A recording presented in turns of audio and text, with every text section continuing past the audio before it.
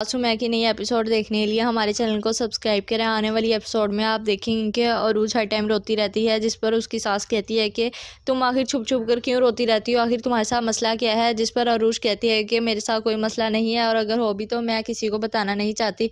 मैं अकेली रहना चाहती हूँ। सलमान उसके बहुत ही तरले करता है और कहता है कि, मुझे बता दो आखिर तुम्हारे साथ मसला क्या है? और वो बता देती है कि, मेरे माँ बाप मेरे असली माँ बाप नहीं है। ये सुनकर सलमान कहता है कि, तुम्हें यह सब किसने कहा है? ऐसा नहीं हो सकता। वो तो तुमसे इतना प्यार करते हैं और हमेशा तुम्हें अपनी बेटी ही समझा है। फिर तुम ये किस हक से कह रही हो? और रूज उसे सारी हकीकत बता देती है, जिस पर सलमान अपनी माँ को भी ये सब बातें बताता है तो उसकी माँ कहती है कि ज़रूर ये कोई चाल चल रही है, क्योंकि ऐसा नहीं हो सकता। वो लोग तो इसे इतनी मोहब्बत करते हैं और हमेशा इसका साथ ही देते हैं। इतना प्यार कोई भी किसी गैर से नहीं करता।